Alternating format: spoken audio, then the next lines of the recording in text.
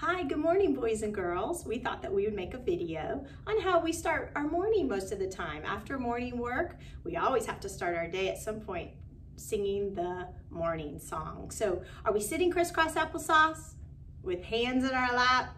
All right, let's get ready to clap.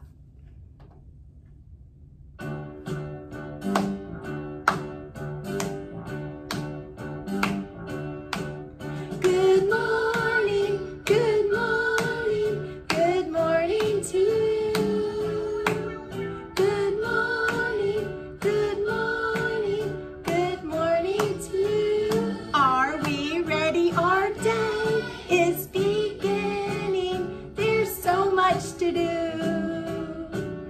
Good morning, good morning, good morning to you. And at this point, I might point everybody out and say good morning, and I love it. I really miss when you guys wave back to me. I love starting my day that way. This is so hard, but I know that you're waving at me right now. So hi, boys and girls. Whether you're in Miss Jill's class, Miss Carol Ann's, Miss Kendra's, or Miss Misty's. Good morning, everybody.